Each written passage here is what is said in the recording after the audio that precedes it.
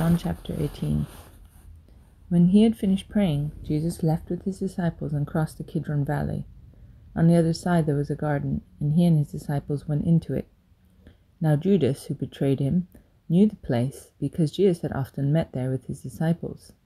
So Judas came to the garden, guiding a detachment of soldiers and some officials from the chief priests and the Pharisees. They were carrying torches, lanterns, and weapons. Jesus, knowing all that was going to happen to him, went out and asked them, Who is it you want? Jesus of Nazareth, they replied. I am he, Jesus said. And Judas the traitor was standing there with them. When Jesus said, I am he, he drew back and fell to the ground.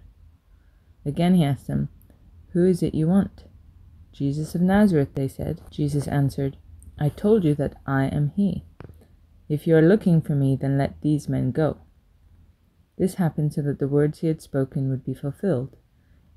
I have not lost one of those you gave me. Then Simon Peter, who had a sword, drew it and struck the high priest's servant, cutting off his right ear. The servant's name was Malchus. Jesus commanded Peter, Put your sword away. Shall I not drink the cup the Father has given me? Then the detachment of soldiers, with its commander and the Jewish officials, arrested Jesus. They bound him and brought him first to Annas, who was the father in law of Caiaphas, the high priest that year. Caiaphas was the one who had advised the Jewish leaders that it would be good if one man died for the people. Simon Peter and another disciple were following Jesus. Because this disciple was known to the high priest, he went with Jesus into the high priest's courtyard. But Peter had to wait outside at the door. The other disciple, who was known to the high priest, came back, spoke to the servant girl on duty there, and brought Peter in. You aren't one of this man's disciples, too, are you? she asked Peter. He replied, I am not. It was cold, and the servants and officials stood around a fire they had made to keep warm. Peter also was standing with them, warming himself. Meanwhile, the high priest questioned Jesus about his disciples and his teaching. I have spoken openly to the world, Jesus replied. I always taught in synagogues or at the temple, where all the Jews come together. I said nothing in secret. Why question me? Ask those who heard me. Surely they know what I said. When Jesus said this, one of the officials nearby slapped him in the face. Is this the way you answer the high priest? he demanded. If I said something wrong, Jesus replied, testify as to what is wrong. But if I spoke the truth, why did you strike me? Then Annas sent him bound to Caiaphas the high priest. Meanwhile, Simon Peter was still standing there warming himself. So they asked him, You aren't one of his disciples too, are you? He denied it, saying, I am not. One of the high priest's servants, a relative of the man whose ear Peter had cut off, challenged him. Didn't I see you with him in the garden? Again Peter denied it, and at that moment a rooster began to crow.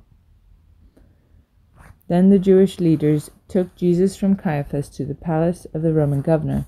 By now it was early morning, and to avoid ceremonial uncleanness, they did not enter the palace, because they wanted to be able to eat the Passover.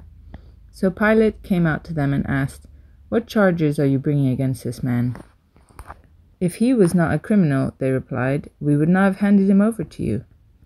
Pilate said, Take him yourselves and judge him by your own law. But we have no right to execute anyone, they objected. This took place to fulfill what Jesus had said about the kind of death he was going to die. Pilate then went back inside the palace, summoned Jesus, and asked him, Are you the king of the Jews? Is that your own idea? Jesus asked. Or did others talk to you about me? Am I a Jew? Pilate replied. Your own people and chief priests handed you over to me. What is it you have done? Jesus said, My kingdom is not of this world. If it were, my servants would fight to prevent my arrest by the Jewish leaders. But now my kingdom is from another place. You are a king, then, said Pilate. Jesus answered, You say that I am a king. In fact, the reason I was born and came into the world is to testify to the truth. Everyone on the side of truth listens to me. What is truth? retorted Pilate. With this he went out again to the Jews gathered there and said, I find no basis for a charge against him.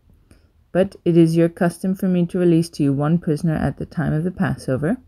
Do you want me to release the king of the Jews? They shouted back, No, not him. Give us Barabbas. Now Barabbas had taken part in an uprising.